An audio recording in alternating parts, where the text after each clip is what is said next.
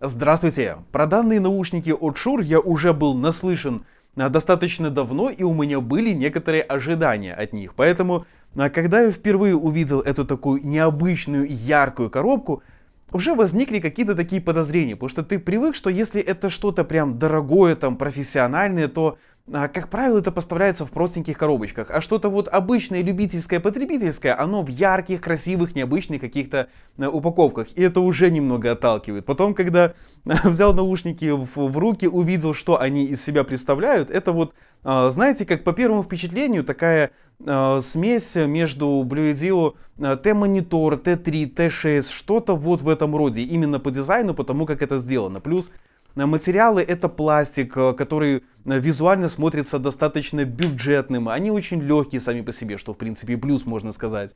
Есть некоторые э, нюансы, связанные с надежностью самой конструкции, с какими-то вот звуками. Все это присутствует, и это ощущается просто бюджетно. То есть, ну никак, не наушники, которые стоят 790 белорусских рублей. Это дорогой сегмент. И в этом сегменте есть наушники, которые и звучат хорошо, и ощущаются визуально э, хорошо. Единственное, что э, и мягкая часть, и амбушюры сделаны очень классно по посадке. Да, здесь э, вопросов нет, они прям очень удобные, в них можно сидеть долго, они сразу же хорошо садятся э, на голову, не вызывая какого-то дискомфорта, что где-то что-то как-то э, давит. И управление сделано физическими кнопками, что тоже хорошо. Единственное, что в случае с амбушюрами некоторое такое вот пространство, щели, они видны и это, это мелочь, но ты уже начинаешь к ним придираться, когда их э, становится достаточно много. И а, уже в такое впечатление очень омраченное. Теперь переходим к каким-то э, таким техническим составляющим. В плане кодеков здесь все прям заряжено максимально. Здесь вам и классические SBC AAC, здесь вам и aptX, aptX, APT, aptX Low Latency, HD, LDAC, все здесь есть. Просто вот Э, максимально. Есть активное шумоподавление, которое, кстати говоря, работает очень хорошо, потому что э, не создает каких-то помех, не давит э, на голову и при этом мягко подавляет шумы. Есть и режим для прослушивания окружающей среды, звучит крайне странно как-то. И тоже работает нормально. Те, кто любит эту функцию, она здесь есть. Все. То есть я не видел, чтобы она где-то работала прям плохо. И пора переходить к самому главному впечатлению от звучании. И все те недостатки, которые были сказаны, они на первый, на первый взгляд такие достаточно жесткие, они сразу же нивелировались, потому что Шур это компания, которая умеет делать и хорошие, и косячные наушники, и ты не знаешь, что это будет, то есть даже вот какие-то предположения изначально лучше не строить. И Здесь все сделали максимально хорошо. Я понимаю, что, возможно, еще какой-то вот вау-эффект он все-таки остался, и э, он воздействует. Но на данный момент для меня это одни из лучших а, наушников а, полноразмерных беспроводных по звучанию, потому что именно настроили их круто. Здесь есть и хорошие излучатели, и хорошая их настройка. То есть при прослушивании через Bluetooth сразу же первое, что ощущается, это то, насколько грамотно поступили с низкими частотами. Они здесь присутствуют, они достаточно глубокие, у них хороший контроль, хорошее все, но они даже как-то немного поджаты, но совсем немного. В них нет какого-то вот пошлого бухания. То есть бас здесь ни в коем случае никогда не будет превалировать. То есть это уже создает такое некоторое впечатление все же хороших наушников. Это очень крутая середина, прям очень крутая, потому что, э, возможно, и искусно тоже, так сказать, подраздули сцену, и э, они звучат объемно, очень объемно. То есть ширина сцены у них просто превосходная, крутая, очень классное разделение инструментов, позиционирование в этом плане очень круто. И очень звучит натуральная середина. Она не звучит как-то упрощенно, не звучит э, с какими-то косяками, либо же еще с чем-то она очень классная. То есть в том числе и в Sennheiser M3 AEBT XL тоже хорошая сцена, хорошая середина. Э, они находятся приблизительно в одном ценовом диапазоне. И при этом здесь уже сцена шире, здесь э, лучше именно само, сама детальность разделения. То есть вот с точки зрения аналитики они однозначно будут, будут лучше. Ну и Э, тем более э, лучше, чем более бюджетные какие-нибудь AKG K371BT, которые также э, являются очень аналитичными наушниками. И высокие частоты, блин, классно, очень классно, потому что здесь не чувствуется их упрощение, они вот звучат просто как надо, то есть даже когда музыка перегружена инструментами, все равно это звучит чисто. При достаточной, при хорошей э, детальности они звучат чисто, они не уходят ни в грязь, ни в песок, ни вот это вот все.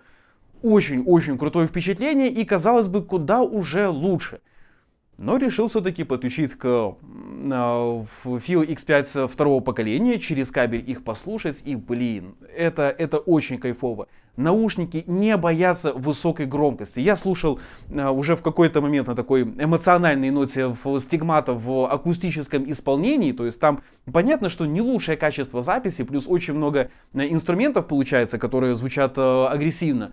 На высокой громкости все это звучало хорошо. Я от беспроводных наушников такого, если честно, э, не помню. То есть, если уже как-то вот взять э, сравнение наушников как-то очень обобщенно, если не брать э, в подачу, то те же в саундкоры в LiveTune, они вроде как звучат где-то удобнее, на какой-то электронной музыке звучат лучше, потому что там приукрашиваются очень э, красиво низкие частоты, и вот где-то как-то они хотя бы чем-то могут зацепить. Здесь все, здесь ты понимаешь, что просто конкретный огромный разрыв между ними. То есть как будто бы это одинаковые какие-то э, конкуренты. Но я к тому, что э, здесь различие в, при звучании по э, беспроводу и по кабелю это действительно серьезная разница. Но опять-таки, в том случае, если вы подключаете к Hi-Fi плееру, а не просто к телефону, не стоит путать данные понятия. И в плане своей аналитики, в плане драйва они дико понравились. То есть то, насколько они еще и по кабелю могут выдавать именно быстрый а, звук, то есть в том плане, что шикарнейшие а, атаки, шикарнейшие панчи, затухание, все остальное. Вот серьезно, приятно говорится, я даже рад, что у них есть косяки с дизайном, с какой-то вычурной коробкой, с очень странно смотрящимся чехлом, но просто взгляните и подумайте, этот кейс принадлежит к э, каким-то наушникам именитого бренда, либо же э, какому-то обычному Китаю. Чуть не улетело. Круглый вот этот вот кейс. Для меня это тоже сразу же ассоциация с э, каким-нибудь э, Blue Edio.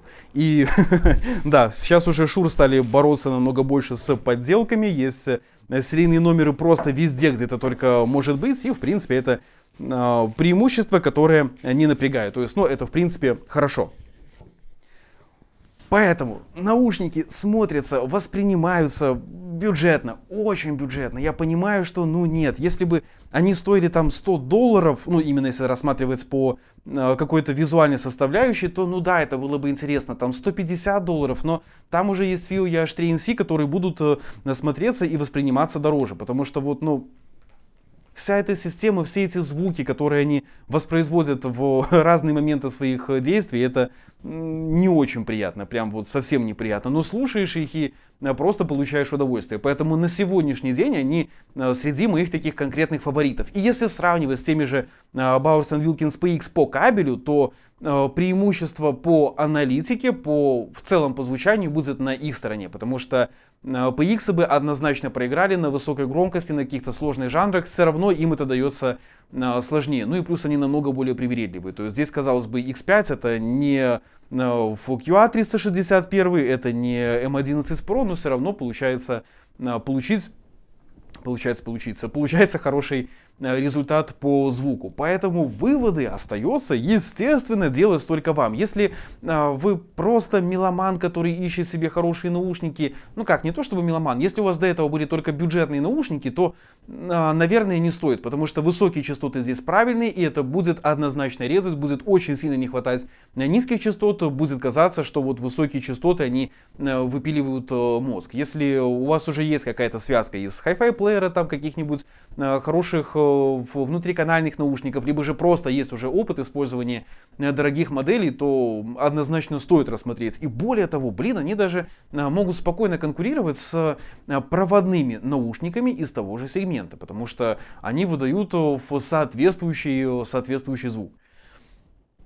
Поэтому впечатления, с одной стороны, двоякие, но вот этот вот драйв, те эмоции, которые ты получаешь во время а, в прослушивания в самой музыки, они перекрывают то, что они смотрятся бюджетно, дешево, не, никак не согласно своему бюджету. Так что выводы остается делать только вам. Ссылка на наушники будет в описании, если вы являетесь их владельцем. Я понимаю, что таких уже достаточно много. Естественно, пишите также свои впечатления в комментариях, и будет больше информации, будет э, э,